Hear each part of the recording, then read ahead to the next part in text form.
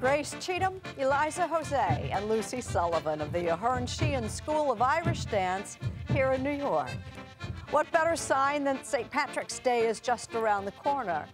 Another sign, the return to America of the show known as Riverdance, hard on the heels, as it were, of its 25th anniversary revival in Ireland, which is where Mark Phillips watched them get in step. All right, so let's try this dance out one more time, then let's go back and run it from back here. Five, six, seven, eight, and one, two. three, After four, 25 five, years, six, they pretty eight. much have this routine down. Hold that, hold that. But at Riverdance, you keep dibby, dibby dubby dubbing until you get it absolutely right. Now push. Push like last night, push. Padraic Moyles is putting the dancers through their paces ahead of a big night for the show that turned Irish dancing Anticipate. into a worldwide hit. They're back where it all began, back for their anniversary gala on the same stage in Dublin, where Riverdance became an unlikely accidental showbiz phenomenon. With a group of dancers who weren't even alive 25 years ago, and back with a new star, a flaming haired 22 year old named Amy-Mae Dolan, who looks like she was born for it. It's really hard to remember the first time I watched Riverdance or even heard the music because it's literally been a part of my everyday since I was born. My You can't parents remember love a it. world where there wasn't No, Riverdance. that's it. I was obsessed with it. It was just all I knew and all I wanted to do. Ladies and gentlemen, Riverdance.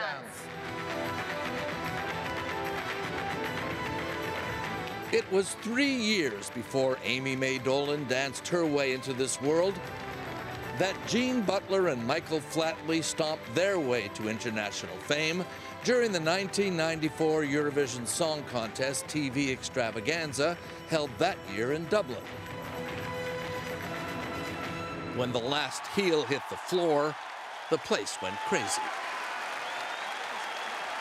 And when it finished, there was this primal roar as 4,000 people, as one, they jumped to their feet. And the applause, I think, lasted four minutes. So we knew certainly at that time what we had suspected could happen would happen. In here, you get what? 8,000? John McColgan and his wife, Moya Doherty, produced the original 6 minute and 40 second number. This is really back where it all began. This is It was the beginning of the next quarter this is where it century of their lives. You might get her to give me a, a ring. It's Moya, yeah. Then the question was, almost the next day, how do we turn this into a full blown two hour show and have it ready for next year? So, how do you do that? uh, w- w- with a great deal of speed because uh, Quickly? quickly and, a, and a certain amount of panic. Right. By midweek, we'll be dangerous. If there was any doubt the show would work at full length, it didn't last long. When the run sold out in Dublin, they thought they'd try it in London. It sold out there too and was brought back for a second sellout run. Even though its star dancer and choreographer, Michael Flatley, had stomped out of the company by then in a contract dispute. You will still be with Riverdance? Uh, yeah, if everything works out by the end of the day, I think I'll have a contract. He sent us a contract with a list of 40 demands that were absolutely impossible to fulfill. So we held the line, and it was a bit like poker. He didn't think we would, but we did. It's a bit of a risk. Well, was your star. um, I think it was a risk, um, but we had to have a firm belief in the strength of the work. We were tested sooner than we would have liked, but we had no option.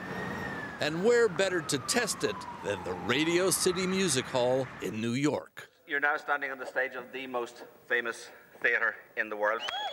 We did two weeks, which is a big gamble in Radio City. But again, we did so well that we came back and we played Radio City for six weeks. The London audience, the Radio mm. City audience in New York, these weren't all the offspring of Irish immigrants that were coming in. Something happened. Something happened.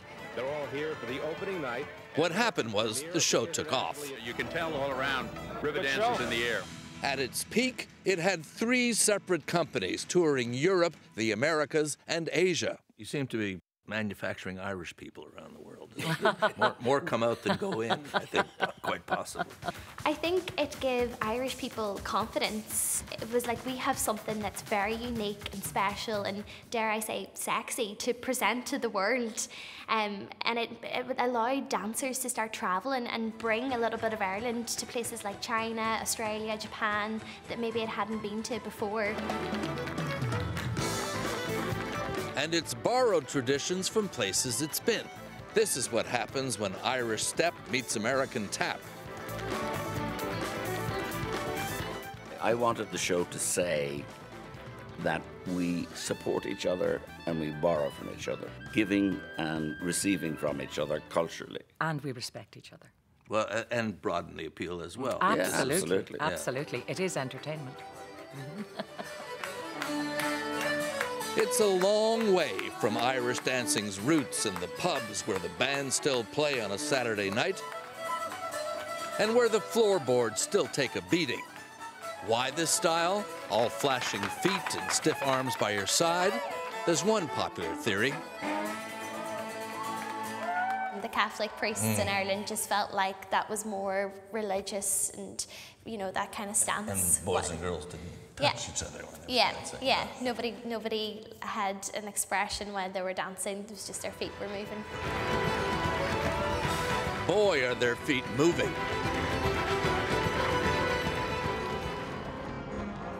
The only way to really see what the dancers are doing is to go to the slow motion replay, where the level of synchronized perfection is even more evident. It goes and a one and or you take a lesson, just just like that. Yeah. yeah. What's the first thing they tell you about Irish dancing? Irish dancing. I can show you. It's okay. um, you stand with your right foot in front of your left. Yeah. And um, heel to toe, and the first thing you learn is to point your toe. yeah. Do you want to try? Yeah. Don't know.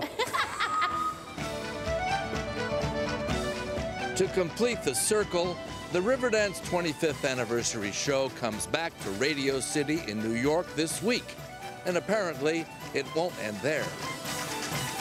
Do you see an end to this, or is this going to stomp its way into the foreseeable future? Well, I have booked this venue for the 50th anniversary. the optimist.